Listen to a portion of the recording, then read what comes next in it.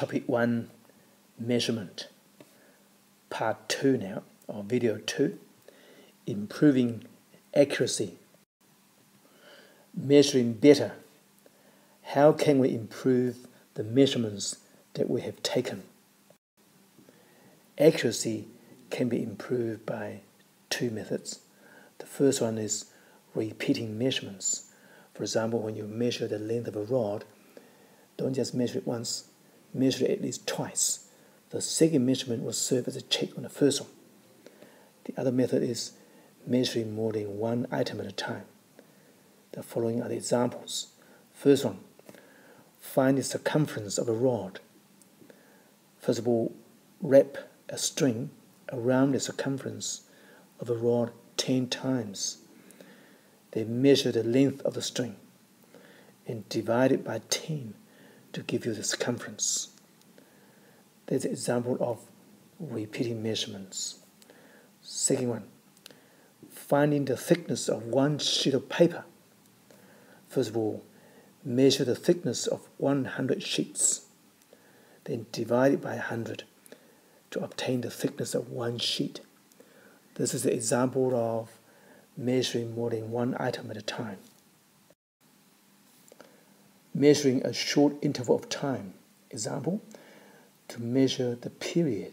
Period is a time for one oscillation or one swing of a pendulum. The pendulum is set swinging and let it swing for a couple of swings and then you time it for 20 oscillations. This time is then divided by 20 to give you the time for one swing, which is a period. This diagram here illustrates what's meant by one oscillation or one swing. If you start timing from here, then you have to let the pendulum swing right to the other side and back again. There's one swing or one oscillation. Micrometer, which is a very accurate measuring instrument, is 100 times more accurate than a ruler and is used for measuring small objects like this one here. So for example, if you want to measure the diameter of this round object, then you put it in this gap here between anvil and spindle. Anvil is fixed. Spindle can be adjusted back and forth like this. So in this case, you move the spindle to the left to close up the gap by turning on this ratchet with the finger. And once the gap is closed up, then you take the reading from here. Here is a close-up view of a micrometer showing the two scales here. This main scale is on the sleeve and then the subscale on the thimble which can be turned with the fingers. This slide teaches you how to take reading from a micrometer. First of all, let me explain the two scales, main scale and subscale.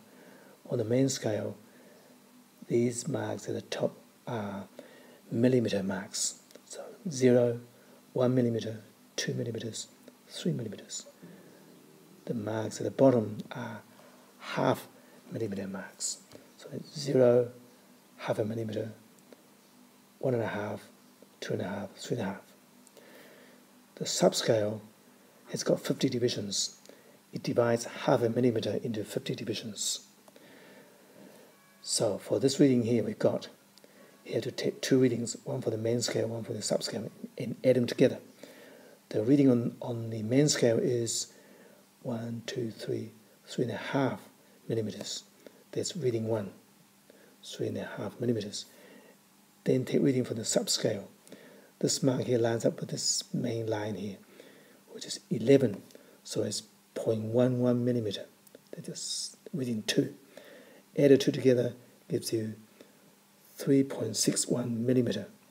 But then you had to convert it to centimeters, and it should read 0.361 centimeters.